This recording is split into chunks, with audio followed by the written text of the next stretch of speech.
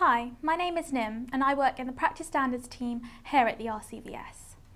In this video guide I will talk you through the steps that you need to complete on Stanley in the pre-inspection stage of an initial, routine or upgrade accreditation assessment. These include selecting your species and accreditation, accepting your assessor and confirming requirements and uploading the documents. You can watch this video in full if you have not completed any of these steps or you can skip to the relevant sections by using the marker tool below.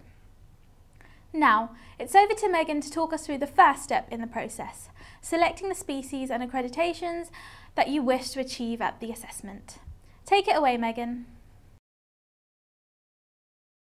You will receive a notification on your Stanley dashboard prompting you to select your species and accreditation. Click on the arrow in the notification. Read the instructions in the Actions to Take box and then click on the blue arrow to jump to the Species and Accreditation section. You can also find this by scrolling down the page. Review the list of species types that your practice could be assessed for along with the accreditation levels that you could achieve for each. Select an accreditation level for each species type treated at your premises. Remember, your premises must be assessed for all species types that are treated.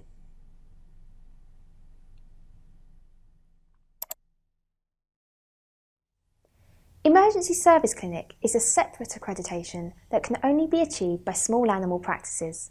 It recognises small animal practices that can deal with emergency and critical care cases without an appointment. To achieve this accreditation, you must meet the core and general practice requirements in all modules of the small animal standards, as well as the emergency service clinic requirements in the emergency and critical care module, module 6. Select not treated at premises if a species type is not treated. Do not leave any species type blank. For some accreditation levels, you are required to answer questions about your premises to determine if certain standards apply. Select yes or no to answer these questions. Click Save Species and Accreditation Selection to save your selection. If your practice is currently accredited and has previously been set up on Stanley, then the options in the Species and Accreditation section will be pre-selected based on your current accreditation.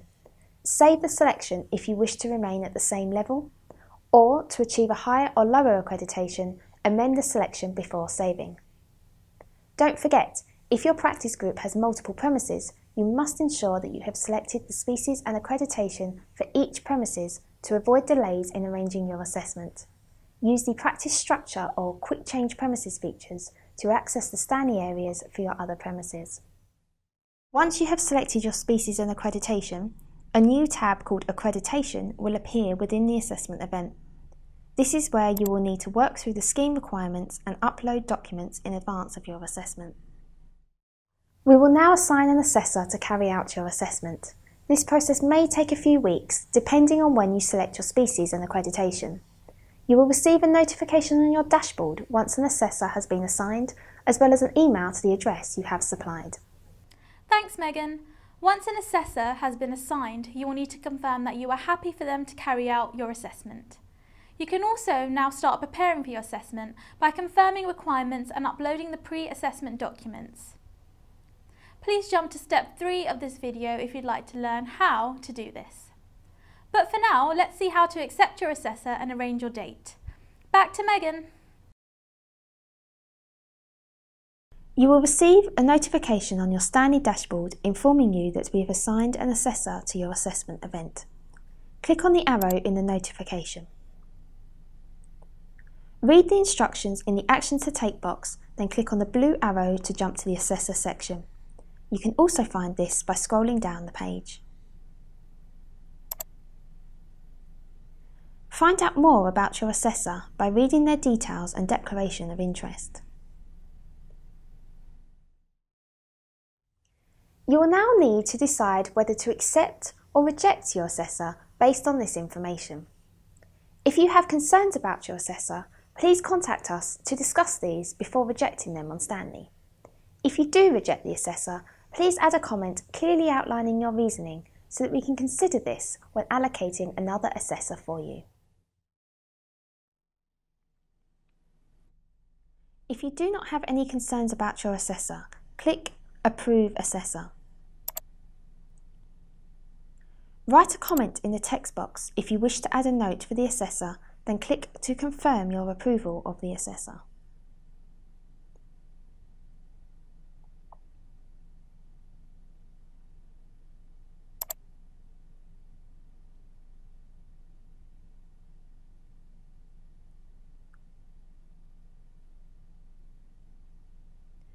The assessor will show as approved in your assessment event.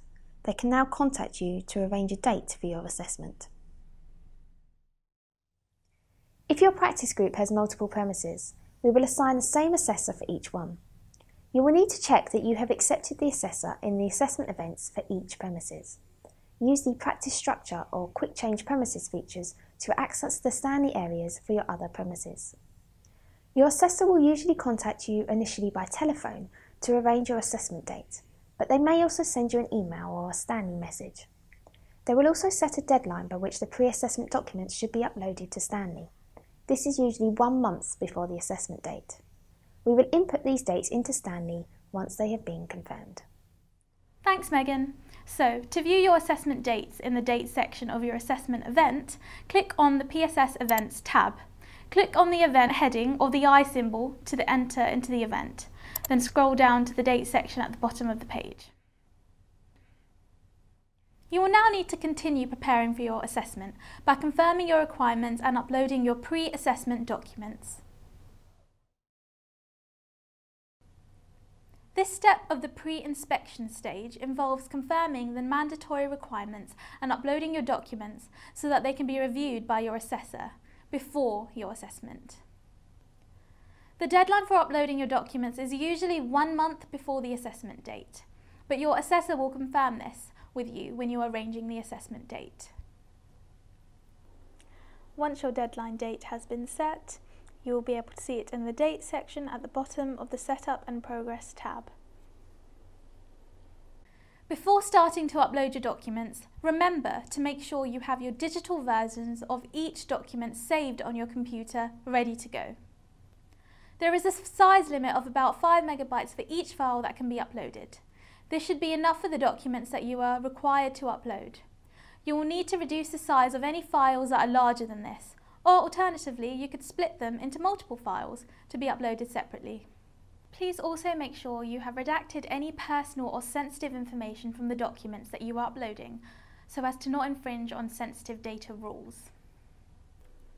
You will need to upload your documents in the Accreditation tab within your assessment event.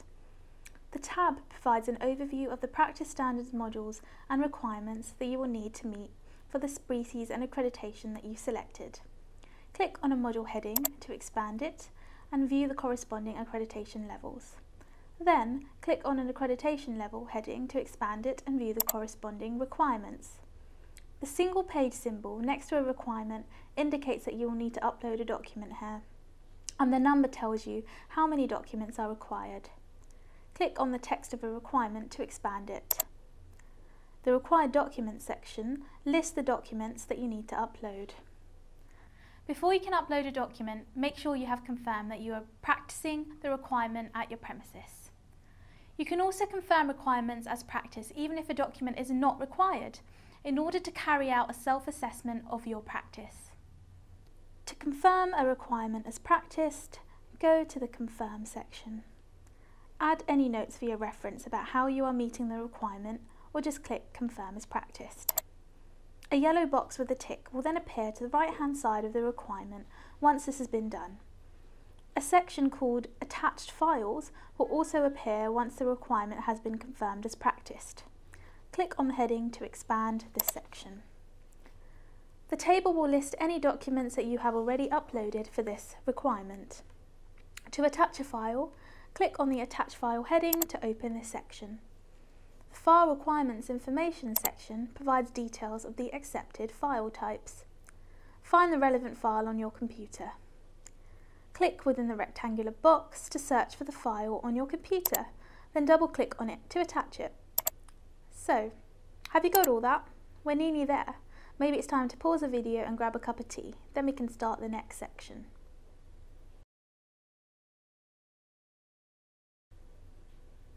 Right, so now we're going to see how to attach existing files.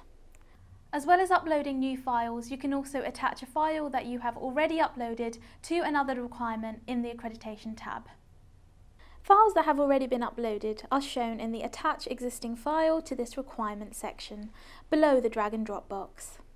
Click on the bullseye symbol next to a file to attach it to the current requirement. If there are multiple premises in your practice group and a document also applies to another of the premises, you will only need to upload it once to the relevant requirement for the main premises. Your assessor will simply assume that the document applies to all the other premises. Likewise, if multiple species are treated at an individual premises and a document applies to all species, you will only need to upload it once to the requirement for the main species type. Files that you have attached to a requirement are listed in the Attached Files section. You can edit the details of an attached file by clicking on the pencil symbol, which is on the right hand side. Here, you can add a description if you'd like to. You can also add an expiry date, as well as replace the file with another one. You can also select to share a file with other premises in your practice structure but only if it's relevant to them. Please do not select to share a file if your practice is part of a large practice structure, such as a corporate group. If you do, the file will be shared with all the premises within that structure, not just those in your immediate practice group. The file is unlikely to be relevant to these other premises and it may be confidential to only your practice. You can also click to download an attached file or delete it from the requirement.